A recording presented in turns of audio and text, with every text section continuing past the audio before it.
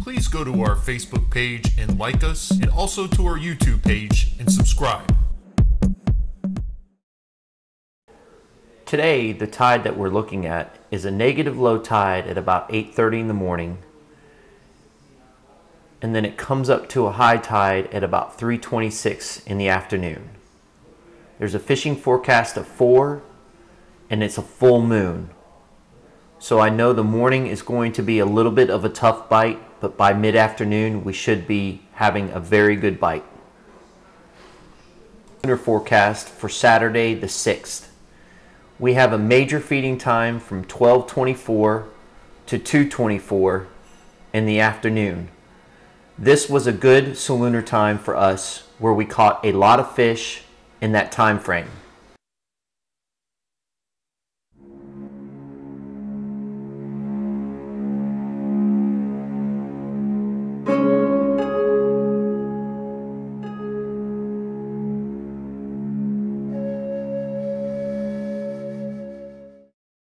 We have here, Chad. It's taking a long, long run. Still taking another one. Quit looking at the camera. I'm, I'm looking around you. I was contemplating putting new line on. Well, whatever this is, has got some. it's got some butt to him. He hooked off, He hooked this fish and went on a straight run it's not acting like a jack. It's, I don't think it's a jack because it's not thumping. It's not thumping. Oh. Snook, wasn't it? Is it another bluefish? I had hooked a big bluefish earlier and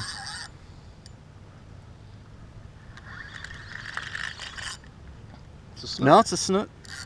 Nice snook too. Not bad, my friend. Not bad. Not bad at all.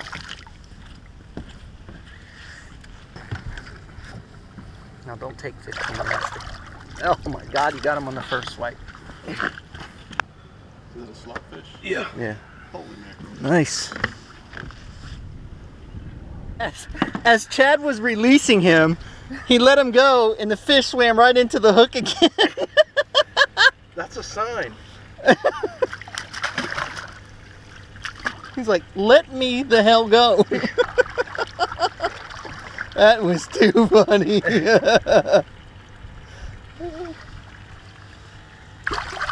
He's ready. Go away from the hook this time. There you go. What you got there, Chuck?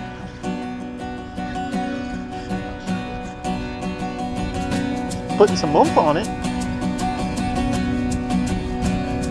Could be a redfish. No, snook.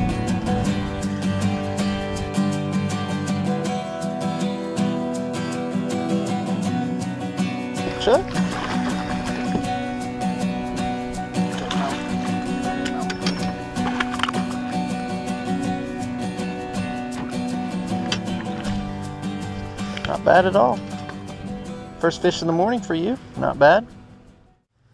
Well, everybody, we decided today we uh, we didn't want to go back to the area that we know that was poached because it would be almost useless to go back there. Uh, so kind of Chad and I talked about it a little bit, but Chad doesn't like to give his two cents usually, but today he actually did. And uh, we decided to hit this new area that I found on Google Earth using Google Earth. Um, we come back to this area. What's nice about it is it's as you can see the you can see the bank right now. The tide is going negative until about 8:30 uh, this morning, and then we have an incoming tide till about 3:15, 3:20, I think it is, and then it kind of really goes kind of dead after that. But uh, we're gonna maybe do some snapper fishing then. But we came back to this area. It is absolutely loaded with mullet, which we like to see. And it's got deep water. It's got bait in here, small uh, anchovies, glass minnows, whatever you want to call them. So we knew that there's fish back here. When we came back here, we saw that. We knew. We set up in one spot. We had some fish get busted or get some uh, chummers get busted, but we didn't get any hits. So we moved to an area, have a little island in front of us that has some oysters on it, and, it, and there's a flat to the right of it. It kind of flattens out, but out where we're sitting is about nine feet of water. So these fish have deep water, so when it gets cold, they just slide down into the deeper water. We've already caught two snook out of here. One was a 30 inch, and then you saw the one that Chuck just caught. So there's quite a bit of fish in this area, and I think we had the full moon last night, which of course I hate. But I think as the day progresses, it's it, the, the fishing's going to get better. Chuck's on.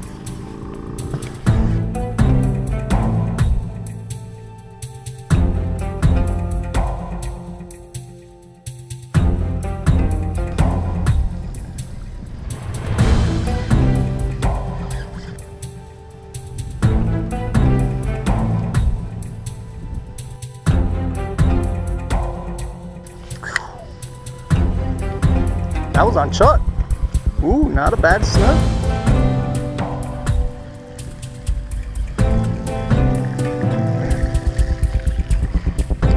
There you go. oh.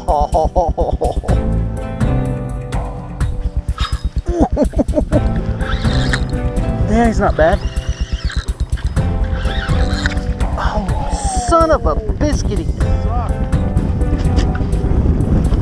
My stuff. I'm gonna cowboy your spot. oh, doubled up. Both of them are snook. Now we got we got Chad up front trying to get into the action. Well, you keep belly hooking your baits and good luck with that. Not bad, Chuck. Mine's bigger.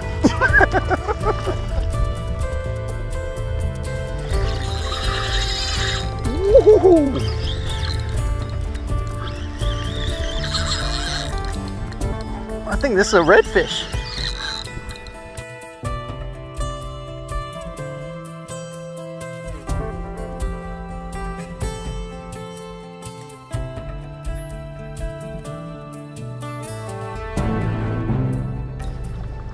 It's fighting like we, it is.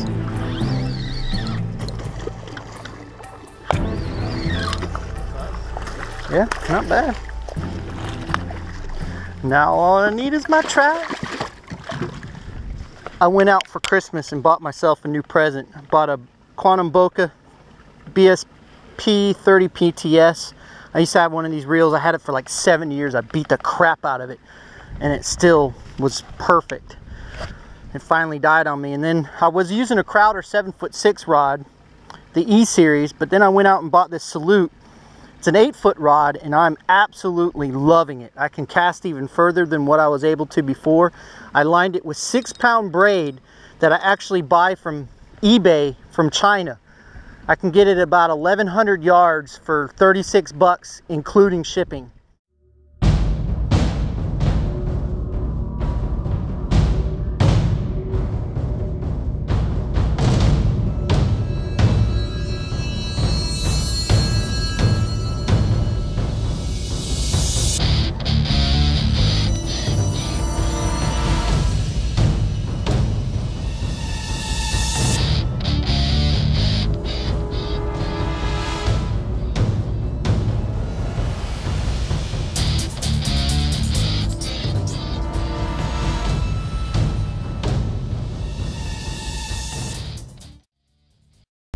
Got there, Chadley. I think it's got a nice redfish. Certainly feels like a bulldog.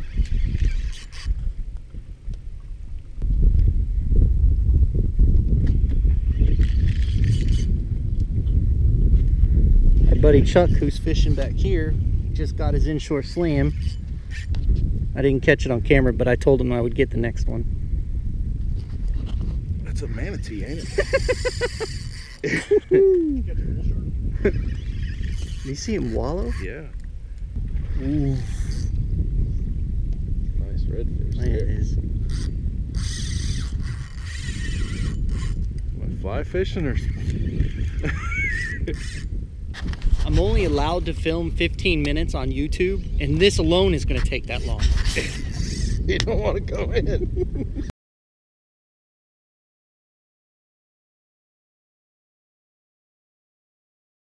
He's not even over slot. It's a redfish. He's just putting it to you. He's not giving up. Can you say pansy? Not really. I can say fish. Booyah. Take a picture of that one. Only if they're still flopping. He may be close to overslot.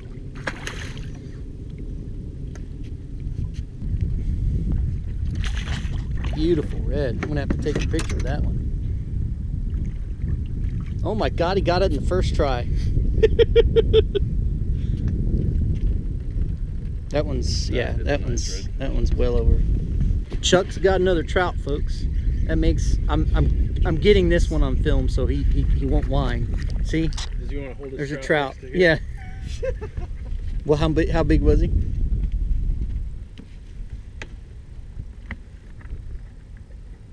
Ooh, he's a he's like He's probably right at 50. He's over. Let him go. okay. Chad has caught the biggest snook and the biggest red today, and then, then he had to go and snag his trout for his inshore slam. There it is. Chuck, how's it feel to have big red on? Chuck's got a nice red on. Very nice red. Maybe that's a picture worthy red. I'm gonna make you famous on YouTube, Chuck. Cool.